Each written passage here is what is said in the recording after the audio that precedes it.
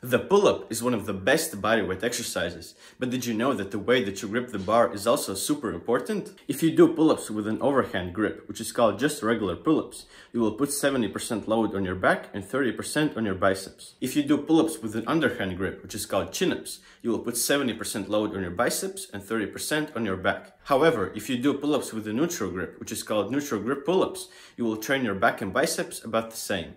And now you probably are asking, which of these grips is the best? Actually, neither one of these grips is better than the other, because each has its own purpose.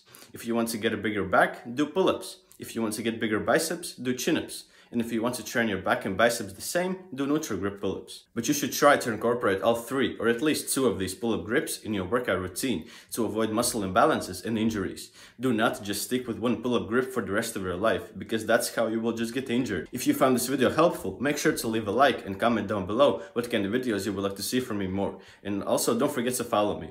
And have a beautiful rest of your day. Peace!